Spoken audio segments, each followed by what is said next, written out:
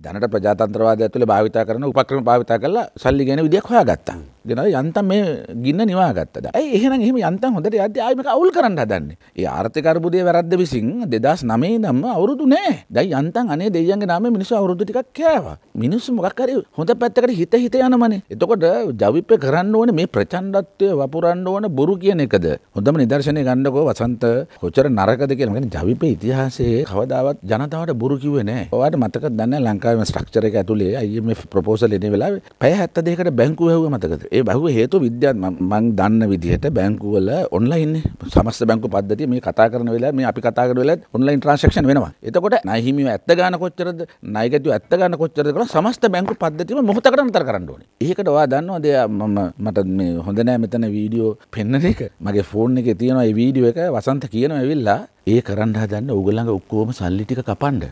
තැන්පත්කරුවගේ සල්ලි කපන්න නතර කළේ ගණන් හදලා. ඉතින් හිතන්නකො පහුවදා උදේ නිකමට හිතන්න ලංකාවේ මිනිස්සු ඇත්තට මේ වසන්ත සමරසිංහ කියන එක විශ්වාස කරලා පාරට බැස්සනම් වැටෙනවද නැද්ද රට? ඇයි මිනිස්සු ඔක්කොම සල්ලි ඉල්ලන උදේ පොලිමේ ඉඳලා තොපිට අයිතියක් නැහැ යකෝ අපි IMF එක කියන සල්ලි කපා ගන්න. ඔයා හිතන්නකො රටක බැංක් ස්ට්‍රක්චර් එක බිඳ වැටුනම මුළු රටම බිඳ වැටෙනවා. හරිම කනගාටුයි මේ ජවිපේ මිනිස්සු රවට්ටන්න කියන බොරු. ඇයි IMF එක සාකච්ඡාව එළියට දුන්නේ නැත්තේ කියලා අහන්න. IMF එක කතා කරපු අද වෙනකන් ඒ කියන්නේ නැත්තේ.